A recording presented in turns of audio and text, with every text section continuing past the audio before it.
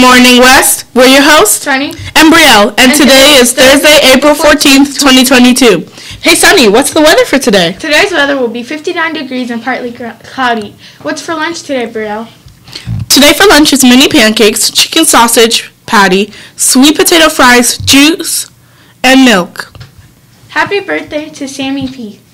And now for sports. Good luck to 8th grade softball, boys tennis, 7th grade softball, and 8th grade baseball.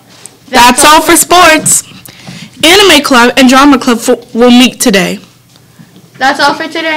Thank you for watching and have a tranquil Thursday. And always remember, West is best.